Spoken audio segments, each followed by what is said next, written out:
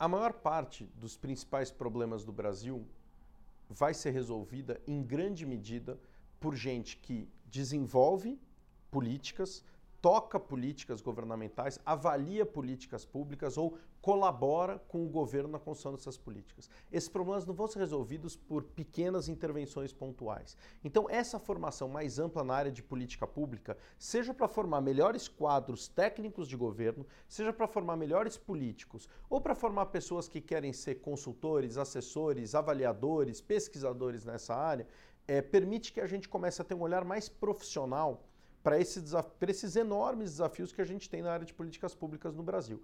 Então, a gente acredita muito que ter gente mais bem preparada, com o compromisso de enfrentar problemas públicos, vai ajudar o Brasil a conseguir enfrentar esses problemas com maior qualidade e maior velocidade. A gente apoia alguns programas na área de políticas públicas que são referência como alguns dos melhores do mundo. E vários deles têm uma característica muito forte de ser programas bastante internacionais. O programa de CIPA, né, é, em Colômbia, que é um programa que reúne pessoas do mundo inteiro. Todo ano tem mais de 100 países representados nos programas é, de mestrado em, em, administração pública ou de mestrado em políticas públicas. A mesma coisa a Kennedy School de Harvard, que é uma referência nessa área de políticas públicas. Então, o primeiro critério de ir para fora é ter a chance de ter acesso a professores excepcionais, a estudos de casos excepcionais e ao contato com pares do mundo inteiro. Problemas que a gente está tentando resolver aqui, muitas vezes já foram pensados em outros lugares. Mais do que isso, boa parte dos problemas públicos no mundo globalizado não, se, não acabam na fronteira de um país só. Então, entender como isso se comunica, quem está preocupado em estudar política econômica ou é, é, desenvolvimento internacional, sustentabilidade, que são áreas, são concentrações possíveis nesses cursos, isso já não acontece mais dentro das fronteiras de um país. Poder pensar isso de fora e com outras perspectivas também ajuda. E fora isso, você tem a chance de encontrar soluções que às vezes já foram problemas parecidos, foram solucionados em outros lugares e a gente não viu. E isso é uma ótima inspiração, uma ótima maneira para a gente pegar isso, reprocessar, trabalhar com as características brasileiras e encontrar soluções para o Brasil. O que as universidades lá fora tentam fazer é montar um curso baseado num grupo de alunos né, que são escolhidos exatamente para criar esse ambiente, essa experiência de aprendizado. Então você tem eh, a possibilidade de interagir com pessoas que vêm de várias partes do mundo né, e, em especial, no, no MPA, isso é muito relevante porque você tem acesso à, à experiência de como esses, essas pessoas nos outros países resolveram problemas que são problemas muito similares de políticas públicas no Brasil. Ah, então, os problemas são, uh, são comuns a todos os países. Você tem políticas públicas voltadas para a educação, políticas públicas voltadas para a saúde, segurança, infraestrutura, né? é, e tem um valor muito grande em você saber como os outros países resolveram ah, esses mesmos problemas. Tá? E quando você tem um grupo de pessoas diverso, formado por gente que veio desses vários outros países, tá? você tem um grande diferencial tá? em participar de um ambiente de aprendizado como esse. É, no Brasil, as nossas instituições elas não têm a diversidade né? é, e, o nível de internacionalização que você encontra em boas instituições no exterior. Tá? Então tem valor é, você fazer um, um programa de formação em políticas públicas e administração pública fora do Brasil, mesmo que você queira trabalhar aqui, né, porque você tem acesso à diversidade. Né, e isso é algo que você não consegue encontrar em outro lugar. No processo de candidatura, né, principalmente nos applications, a estratégia que você, pelo menos que eu utilizei, foi a seguinte. Né, o application deve dizer o que, que você já fez na sua vida, né, o que, que você deseja fazer no futuro, seja profissionalmente ou pessoalmente, né, e o essay né, é, dos applications deve dizer como que você vai utilizar o tempo que você vai passar na instituição de ensino que você tá, para qual você está se candidatando, como que você vai usar esse tempo né, para construindo sobre as suas experiências passadas, né, conseguir criar ferramentas para você alcançar o que você deseja no futuro.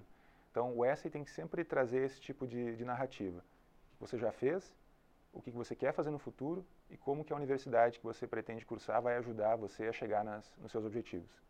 Tá? Em particular, é, na formação de administração pública, né, que foi a, o mestrado que eu fiz, acho que vale a pena tá, você fazer um trabalho ah, no seu país mesmo, na sua região, de tentar identificar as situações que são situações problema da administração pública, tá, E mesmo que você não tenha uh, um conhecimento teórico muito aprofundado sobre as possíveis alternativas para solucionar esses problemas, vale a pena que você tente, né, de alguma maneira, mostrar que você pensou na solução para os problemas locais de onde você vive. Tá?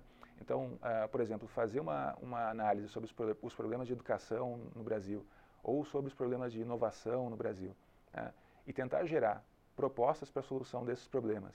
Né, a partir da sua percepção, com a, a, quantidade de informação que você tem disponível hoje, é algo super válido, porque mostra que você está preocupado com a problemática né, relevante, que você sabe buscar informação né, e que você consegue articular uma solução, a, a, mesmo que né, incompleta, nesse momento, e não é ruim que, que isso aconteça, porque você exatamente está fazendo mestrado para aprender, né, é, que você consegue é, articular uma solução para um dado problema.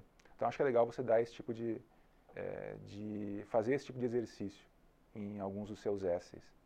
Eu acho que tem dois, dois principais pontos ligados a, a quem quer prestar pública. Um é que a sua história tem que ter alguma ligação ou no passado ou em relação a planos de futuro com o setor público. Não é que as escolas só admitem, admitem quem, quem tem um histórico específico, mas é, se você não tem uma, um background na área, se você lidou mais na área de business, isso não, não te elimina, mas você tem que mostrar que no seu plano de vida, nos seus sonhos, em, em, sabe, em ambições de carreira, existe alguma coisa linkada com o setor público que você possa colocar. Então, ah, um dia eu quero lidar com o governo, ou mesmo lidando com empresa, eu quero ter uma interseção com o governo, enfim, acho que isso é uma, uma parte, como atrelar o setor público na, na, sua história. E um segundo ponto que eu acho bastante relevante é uh, as escolas que oferecem o curso de, de, de, de, públicas né, nos Estados Unidos ou em outros países, é, é, é, elas têm perfis diferentes. Então, assim como você tem escolas de MBA, várias escolas de MBA com perfis específicos, é, a mesma história vale para quem quer estudar públicas. Então, é muito importante a pessoa gastar um tempo nisso, entendendo é, se a pessoa quer lidar mais com liderança, quer lidar mais com política, com desenho de política pública, com relações internacionais, e as escolas diferem. Né? Então, você tem, obviamente, eu estudo na, na Harvard Kennedy School, mas você tem Columbia, tem Princeton, tem Berkeley, enfim, Stanford agora também está com a frente. Então, é, é, é, importante as pessoas entenderem o perfil de cada um. Eu acho que é uma segunda dica valiosa, né, antes das pessoas prestarem, gastarem o tempo investindo nisso.